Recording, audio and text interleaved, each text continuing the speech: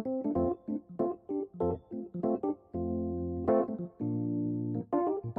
to all kikyamers.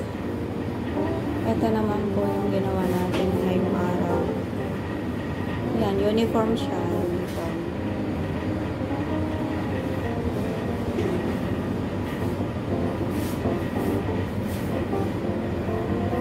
Uniform na nagtatrabaho sa MBPS.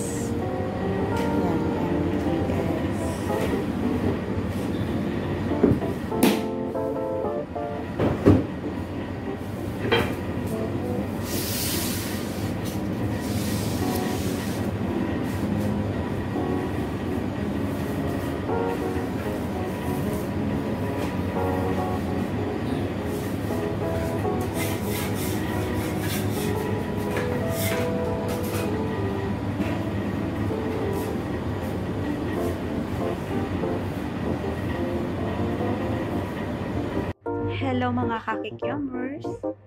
Ito na yung finished product na ginawa ko ngayon. Ang flavor